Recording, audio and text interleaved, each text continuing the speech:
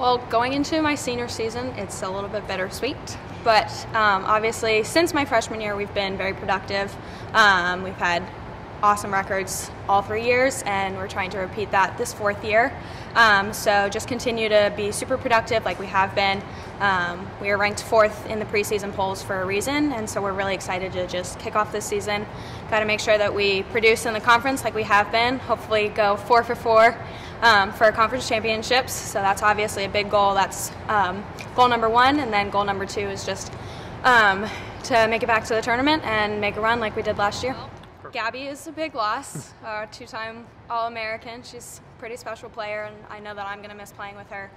But um, that being said, she was really um, our biggest loss. We only lost her as our one starter, and so we're returning 10 out of the 11, which is amazing. You don't get to see that very often, so thankfully our team is young.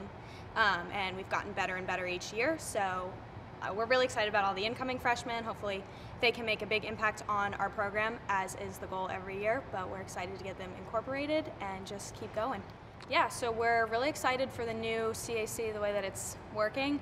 Um, so we get to play everybody twice, which is a little bit different than anything I've done. So that's that's cool because we get to play home and away. So it'll be kind of like a culmination of my first three years in, into one. Um, so that'll be fun. But we're excited to get to play everybody again, and like I said earlier, hopefully get that CAC title for the fourth year in a row.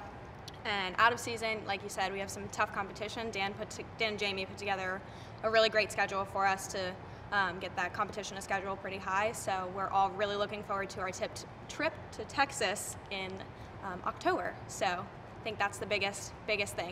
Um, I've loved playing in the CAC just because we don't like everything isn't super spread out as opposed to some other conferences. Um, so we, our travel isn't isn't as large.